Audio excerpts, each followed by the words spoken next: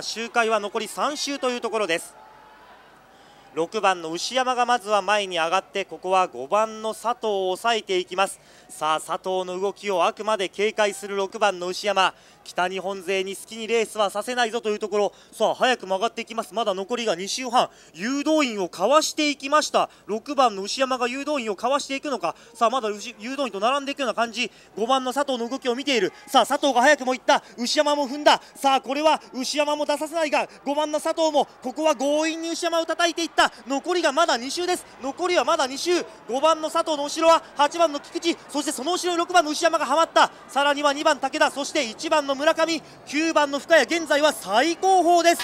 さあ残り1周半。勝負の鐘が鳴りました。5番の佐藤の先行。2番手は8番の菊池。6番の塩が交代していく。3番手は2番武田に変わった。1番の村上が4番手。その後ろ5番手は7番の山崎です。さあ9番の深谷はまだ8番手。じっくり見ている。さあ5番の佐藤がペースを上げていくのか。2番手は8番菊池。菊池の番手まくり。菊池の番手まくり。3番手から2番武田がいった。武田が行きました。後ろから1番村上を行っている。さらには7番の山崎。山崎がさあ3番手。絶好の体勢か。さあ9番の深谷もまくってこいという体勢だ。横中直線。村上が先先頭だ。村上先頭。外から深谷がやってきてるが村上深谷。わずかに村上。